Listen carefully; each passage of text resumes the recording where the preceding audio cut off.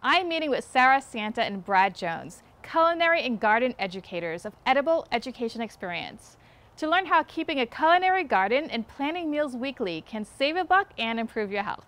Tell me about yourself and the Edible Education Experience. I'm Sarah Santa and I'm the program manager and marketing coordinator here at Edible Education Experience. We operate out of the Emeril Lagasse Foundation Kitchen House and Culinary Garden and we're located here in College Park. Uh, we've been serving the Central Florida communities for the past five years as a 501c3 nonprofit and our space is looked at as a teaching kitchen and garden for hands-on learning and it's really a special uh, spot where nature meets culinary arts. Well, today we're going to learn about how to meal prep yes. in an affordable way. That's Show right. us what we have here today. Yes, so for today, we're gonna work a little bit with seasonality and we have from our garden some Thai basil. So I have some here in this beautiful vase and I already pre-harvested some of the leaves. So we're gonna use some seasonal ingredients as well as some budget-friendly um, ingredients as well. So we're working with peanuts, which is a very affordable nut and nice source of uh, protein and fat. I have sesame oil, some lime juice, and soy sauce, and that's all gonna be combined together. We're gonna be making a pesto sauce. So oftentimes people think of pesto as it has to be Italian ingredients, right? So it has to be Italian basil, it has to be pine nuts, it has to be Parmesan cheese, and, and olive oil. Well, I'm here to debunk that and show that there's other ways to make a non-cooked sauce in an affordable way. So we're looking to have an herb, a fat, and something with uh, acidic uh, flavor. So that's where the Thai basils are herb, the peanuts are, are healthy fats, and then our acidic flavor is coming from the lime juice. We do have a lot of ingredients here. How does it continue to stay affordable? It can stay affordable I find where you're shopping for what's on sale, oftentimes that is what's in season. And another way to find it affordable is to buy in bulk. Uh, so for example, we're gonna be working with a forbidden black rice. We're making a sweet and savory rice bowl today. And I like to make a big batch of that, just lightly seasoning it with salt. Um, maybe you're just cooking it in water, so it's kind of a more neutral palette of flavor. And then that way you can add your savory sauce. Like today we're doing the pesto. And then maybe tomorrow morning you're going to repurpose the leftover rice and make a rice porridge and make it more sweet. I'm the type of person who loves to bake, but I'm not too crazy about cooking. Can you tell us how someone who doesn't like cooking can, can do this, do it in a quick way, and that's painless? Absolutely. So one thing is to kind of give yourself permission to take shortcuts. So that might mean you have to get pre bought rice packets. Maybe it's something that you just steam in the microwave. Or for example, we have some sliced carrots here. Maybe it's something that's uh, in your fridge section at, at your local grocery store and it's pre-sliced. That's cutting out one of the steps for you, making it a little bit easier to assemble a salad, a rice bowl, uh, some kind of casserole. Same thing with our edamame. That's a source, a great source of plant protein and potassium. And these guys are just easy just to steam again in the microwave. So don't be afraid to make shortcuts and, you know, cause sometimes meal prepping can be daunting and we, you want it to be enjoyable. So find, find ways to make those changes. Okay, so definitely you covered one of those spots that I, in cooking that I really don't enjoy, which is the prepping. But um, let's talk about prepackaged and processed foods mm. compared to foods, let's say the carrot is a whole carrot. Mm -hmm. Is it cheaper to buy that way rather than prepackaged and processed? Great question. So I think that kind of goes back to if you're going to start meal prepping, what is your why? Kind of determining that why factor of what um, is driving you. So it might be cost, you might want to be cutting down on cost, and in that sense I would say go for the whole carrot, take the time to peel or slice it yourself. If it's more on time and you want to just be efficient with your time, and let's say you're juggling a full-time job and kids at home, maybe you want to go with the shaved carrots that are pre-cut for you, just to make it a little easier. Okay, and so I have tried to find some cooking hacks in my kitchen okay. with some like a, a Ninja processor or something mm, like that mm-hmm. that can shave the carrots for me a lot quicker. Is yeah, oh, there's so many different kitchen appliances you can You can go crazy with, with all the different items that they have out there on the market. I like to stick with some of the basics. Always have a nice sharp chef knife, a microplane for uh, zesting, and then also just other tools as far as storing those items so that they extend, extend the life of different foods. So if I use an ice cube tray, I might uh, do a microplane of my lemon to get the lemon skin zest into the ice cube tray and then freeze that and use it for a later time for another recipe. So we're gonna go ahead and get our pitcher over here, bring that to the center, and we're going to start assembling our pesto. So uh, we have two cups of our loose greens. So these are our herbs for today. We're using the Thai basil. And then what I'm gonna have you help me with, Emily, is grab our additional spices and ingredients. So we can go ahead and start with the garlic. Got two cloves of garlic, perfect. And then we have about a fourth a cup of peanuts, dry roasted and unsalted. And then we have sesame seed oil. So some extra added healthy fats. And then we have a combination of our lime and rice wine vinegar. So that's gonna be our acidic flavor going in. And we have soy sauce, about two teaspoons soy sauce there, a little bit of salt. And then we'll do a pinch of our salt as well, just a light pinch. We have cracked black pepper and then a little bit of red pepper for some heat. Perfect. Do you like a lot of spicy foods? Mm, I like it spicy, but not like hot spicy. Okay. So I think just like a pinch or two would be perfect. And this is where it can be kind of customizable. So throughout the entire process of us making this blender pesto, we can kind of adjust those flavors based on what you personally like. And that's something that we really strive for here at um, Edible Education Experience is allowing our students to gain autonomy towards what they really enjoy and you know pick those flavor profiles that they uh, really are drawn to. So now we will blend this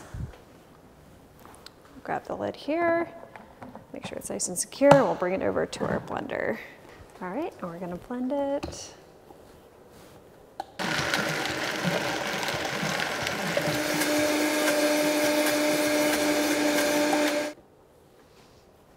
Okay, now that we have our pesto well blended, now the fun part is to assemble our rice bowl. I find a lot of times when people are looking to meal plan that they their biggest challenge is boredom. So I always like to cook and make my meals with as much color as possible. So hence the bright orange from the carrots, we have green from our pesto, a black forbidden rice adds extra nutrients too when we're eating from the rainbow. So that's really good from a health perspective. So we have our rice here. We're gonna start to assemble our bowl. One of my favorite summer ingredients here in Florida are sweet potato greens. So not many people know this, but sweet potato leaves and the stems are edible and they saute and wilt really nicely on a stove top with just a little bit of oil and salt. And they're very reliable. As you know, here in Florida it gets very hot in the summer, so most leafy greens don't do well up against the, the humidity, but sweet potato greens do. So something to definitely look out for at your local farmers markets. And if you're growing it yourself, do you have to wait till the sweet potatoes are ready in order to harvest the leaves or? That's a great question. So actually the sweet potatoes are still growing underground as far as um, summer is concerned. So you can still harvest some of the leaves, uh, some of the ivy leaves, as the sweet potatoes are still buried underground. And then come fall, winter, you'll be able to harvest those sweet potatoes and then have a whole different variety of recipes you can make from that part of the plant. Next I have some quick pickled red onions.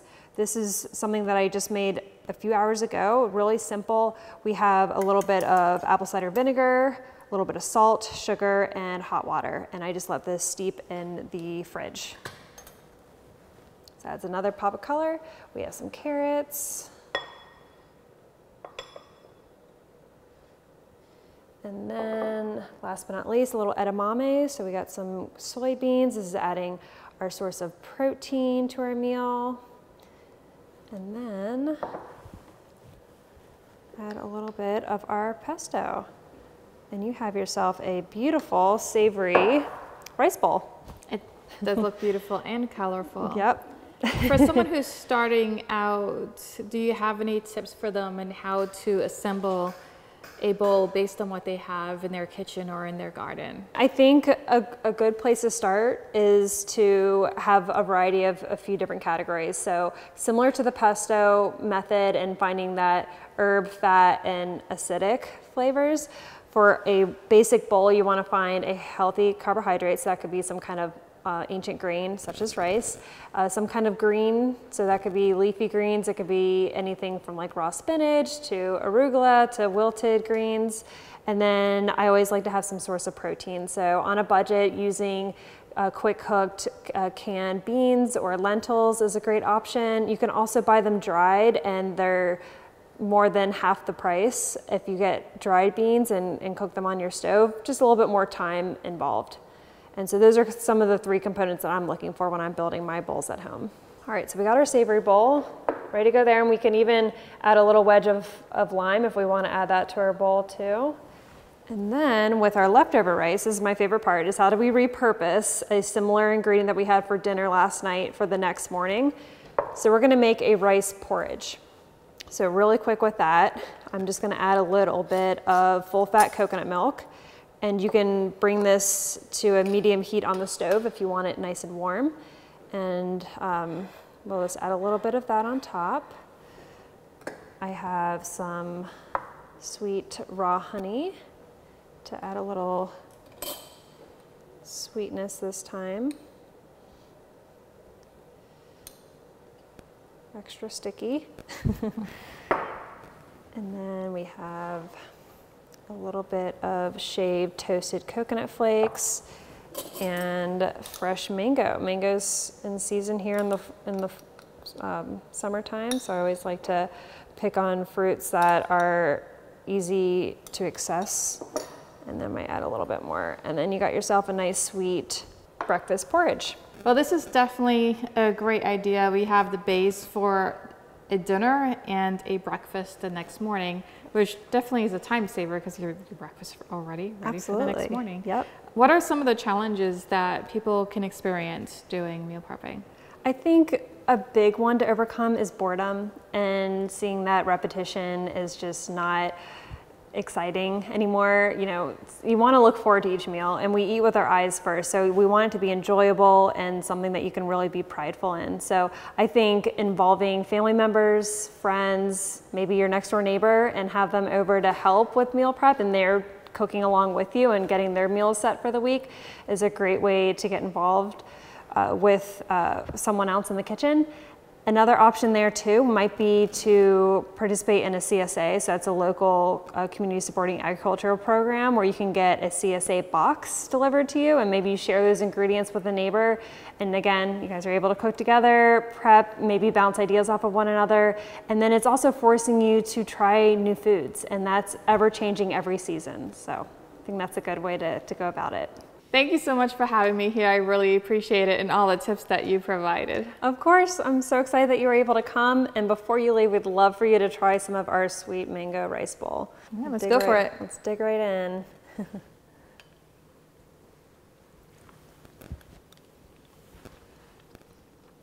so it's kind of tropical. We have mm -hmm. the coconut with the mango. What do you think? Is this something that you would maybe make at home for a breakfast? Yes, definitely, especially like the coconut with the mango and the honey. It's a really good taste. Yeah. Awesome. Mm-hmm. Well, yeah, thanks again for visiting us. We hope to see you again soon. Thank you. Tell me about yourself and the culinary garden at the Edible Education Experience. My name is Brad Jones. I'm the garden educator here at Edible Ed.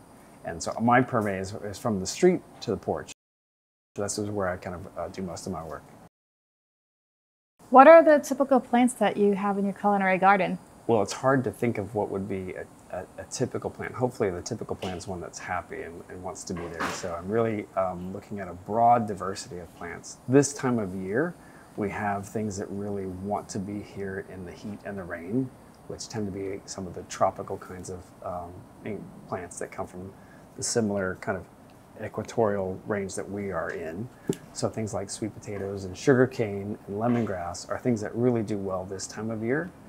A lot of our diet in America is from like Western European cultures where we think of like peas and carrots and uh, spinach and cabbage and cauliflower. All of those things really are well adapted to summers in Western Europe, but not so much in summers in Florida. So we'll wait till the fall and winter to grow those things. So it's, it's unusual when we think of a garden as like, it's almost like a conveyor belt. So the idea of a typical plant, it would be very different every time you come back. So I'm not sure there is a typical plant for this garden. But like I said, hopefully it's one that's happy in the season that it's in. If someone wants to eat healthy, what type of plants are best to grow here in Florida? I love the question about what should we grow. Um, I think that's there's several big questions that someone should ask. I think what we should grow is definitely a big one. Sometimes people will suggest I, that you should start, if you're a beginning gardener, that you should start with food that you like. There might be some obvious favorites of you know tomatoes or zucchini or peppers, sweet peppers in particular, or cucumbers, things that people immediately think of. Well, I love fruits and vegetables. This is what I like. But some of those things are very difficult to grow in Florida, or not necessarily difficult. I should say specific. Like they have very specific timing that they want to be in the garden. Um, and a lot of people will plant them um, and have really negative experiences and they don't do well. And they think, oh, well, I'm not a good gardener, or you can't really garden in Florida. And so they kind of give up. My recommendation is find out in your zone, in your region, wherever you are, what really wants to grow. And then try some of that, get some easy wins, if you will, um, things that really you know you're going to be successful at where you are and maybe even learn to try some things that you're unfamiliar with. There's a lot of fruits and vegetables that some people have, have never tried before that do really well here. Um, some things that I think are, are very easy to grow, uh, like I mentioned earlier about the tropical kind of things in the summertime, lemongrass. Some people are very familiar with that. They come here from the, from the islands or from the tropical regions around the world and they, they wouldn't consider having a yard without lemongrass in it. There's some people who have never tried lemongrass either in a soup or in a tea. And so that's something that's really new to them. It would never be on their top five list of what to grow. Um, but it's something that, that's relatively easy, makes a beautiful plant, and you can enjoy that in your kitchen. Some other things that people might not consider, well, what you have with Sarah today with the in the, the, the rice bowl, those sweet potato greens. Sweet potatoes are one of the easiest things that anybody can grow in Florida, especially in the summertime. And a lot of times we obviously think about eating the sweet potatoes that we get from them in the fall, but we don't think about eating those leaves, the greens, throughout the summertime. Summertime greens in Florida are particularly challenging. There's a lot of things up north that people can grow throughout the summer, but in Florida it's really challenging to find a leafy green to put on your plate. But sweet potatoes make a great alternative uh, for things like spinach or even collard greens or kale. So that's something that I, I, I strongly recommend for people to, to try out with those things first and then move towards some things that are a little bit more challenging. With the Florida heat, how could someone plan to make sure that throughout the year they have something to right. harvest? Right. I think a plan for the year is a really good idea to, to be always thinking a couple months ahead. Like right now, even though we're sitting on this porch really hot, it's really steamy today. I'm already thinking about what's coming next. I'm not going to assume that my garden is going to be like this forever. I kind of honestly want to just kind of put my head down and just get through the next couple of months. I'm really looking forward to what's coming next. In the spring, when I'm thinking about the summertime heat, I am going to be thinking about tropical kinds of ingredients like the lemongrass or the turmeric or um, sugar cane or um, sweet potatoes. There's a lot of things that, that can survive the heat, even if they're not necessarily thriving when it gets crazy hot. But there's things that kind of on the shoulder at the beginning of the summer and then towards the end of the summer, like eggplant, can really stand up to quite a bit of heat.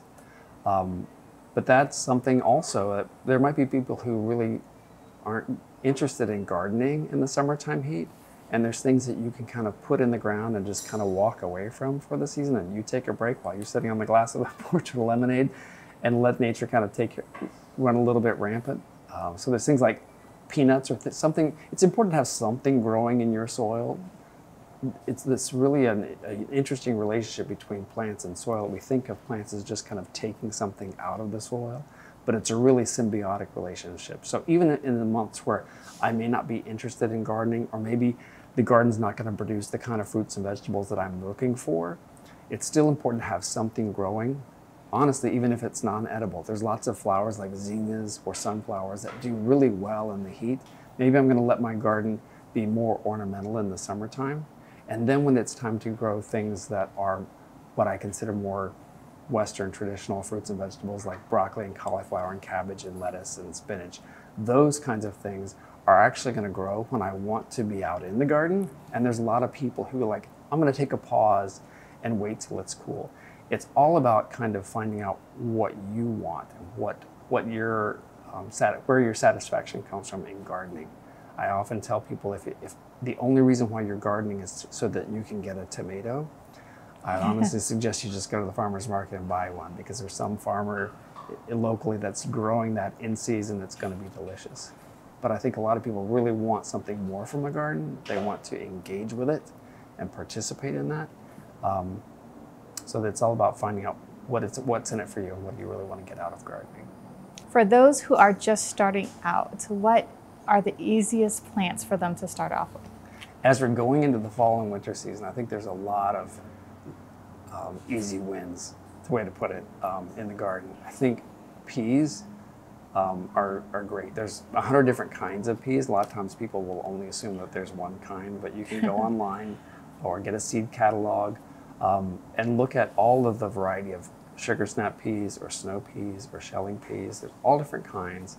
And the flavor that you get, the bang for your buck is really significant when it comes to peas because we've all had peas that are, you know, even fresh peas at the, supermarket um, have been on the shelf for a little bit, and, and peas don't really have a, a long shelf life.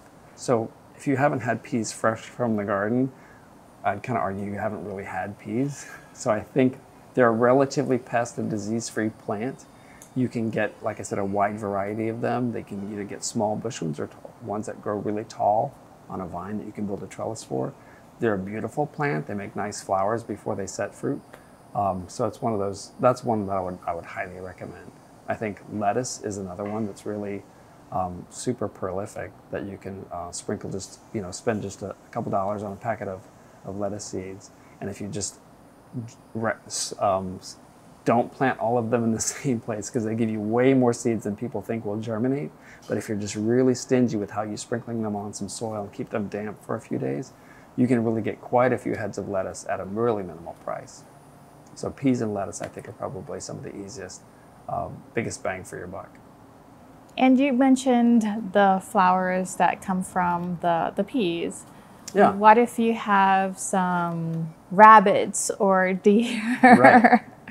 The idea of pests really comes up a lot when people come here to the kitchen house and want to know what we do about pests. And I, again, I, there's not really um, a silver bullet in nature. I think nature is very, uh, a very complex system, and so every situation is different. Fortunately for us, we're in a, a relatively urban neighborhood setting where we don't have deer, we don't have rabbits, I don't have bears. There's some places in Orange County where that's not the case. so I can't tell people what do you do about your deer because I've never had to struggle with that. Um, I tend to think about finding what do the squirrels not want to eat, and I'm gonna, and, and what do I want to eat. So where those things overlap, I'm gonna grow those things. Um, but otherwise, as, as far as insect pests, I think the idea of one of the ways that we garden here, if you think about the techniques that we use, we tend to go by nature's playbook. And Nature's Playbook definitely at the top of the line is diversity and the idea of creating a diversified habitat where not just one bug shows up, but lots of bugs show up. Um, that creates a network of, of predator and prey that kind of balances things out. So if I have a bug problem, the answer is not to get rid of that bug, but to invite more bugs, which seems kind of counterintuitive. But mm-hmm. for every caterpillar that wants to eat one of my cabbages, there's a wasp or a lizard or a bird that wants to eat that caterpillar. And they're much better at finding that caterpillar than I am. So if I can create a habitat where all of those other creatures are going to step in and do that work for me, then I'm happier about that. So oftentimes, if someone does have a particular pest problem, I think some in some ways the best answer is to create a habitat for predators that will come in and manage your pests for you. I think the biggest or more prevalent pests that we have are the ants. If you think about where does an ant want to live mm-hmm. and what does an ant want to eat, and balance those two things out. Dirt and anything sweet. I think they they really like sand, probably preferable to. I think about our soil. First of all, I call it soil. I really don't want to call it dirt because dirt is something that I get on my pants and I need to brush off. Soil is what we grow things in, that's where my food comes from. So the soil that we have here, I'm really shooting for that consistency and texture and color of, of chocolate cake. And uh, ironically, there's not a lot of ants that like to live in that kind of environment. So the environment that's better for my fruits and vegetables is less attractive to ants. So by doing one thing, I'm achieving two positive outcomes. So that we don't hear we have not had a problem, a significant problem with ants. Sometimes ants are just following up on the pest problem that you already have. If you have aphids on your plants, those ants are attracted to the aphids to get the sweet nectar that comes from them. So the ants are not necessarily eating your food, they're milking the aphids that are eating your food. So if there's if there's ways that you can help control the aphid population, that also helps control the ants that you're seeing. And that in controlling aphids, there's a lot of people who are tempted to just spray a poison for that. But to spray a select, it's hard to find a selective poison that will only kill one thing. Mm-hmm. Ideally, I would want a ladybug to come in and eat my aphids. And so if I spray poison on aphids, I'm also going to poison that ladybug. So rather than doing that, I'm, I'm just going to create a habitat where ladybugs are welcome. And then, like I said, that kind of tends to balance out that problem. So balance in the garden and, and following nature's playbook is really what we do here. Are there any volunteer opportunities or ways that the community can get engaged? Yes, I think um, first of all we're a very welcoming space, so we don't have you know barbed wired fence around our around our garden. We invite people to come in with respect to come and see what's growing. I think a lot of people's question about questions about diversity or or timing or things like that, someone can come and just see how we do it here, and just by observing, there's a lot that someone can engage with us on. In terms of volunteering, there's lots of opportunities at the Kitchen House with edible education experience to come and volunteer. We always encourage people to bring your skill set, bring your talent.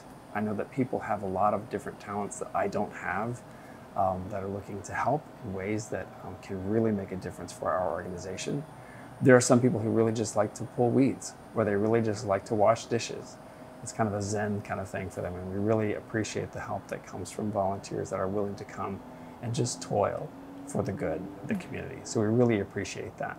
If someone's interested in really diving in deep to learn about gardening or to learn about cooking, we offer classes for that, and you can find about those um, on our website. So those are really great ways for the community to engage through attending some of our classes. Is there anything else you would like to share with our viewers? I really would like people to think more about their relationship to food mm-hmm. and their relationship to the natural world.